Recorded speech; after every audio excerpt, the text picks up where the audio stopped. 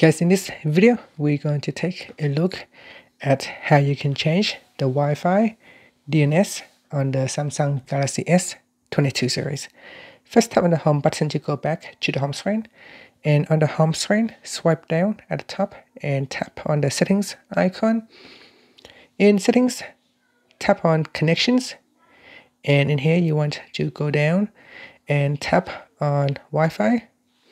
Next, tap on the settings icon and then you want to go down and tap on the view more button. In here you want to go down and make sure that you choose IP settings set it to um, static. You can see that if it is set to DHCP then you will not be able to manually change the DNS so you want to choose static so tap on IP settings and select static. After that, go down and choose your DNS. So in here, um, by default, it will use your router DNS. So this is the default. So you want to delete that and put in your own DNS.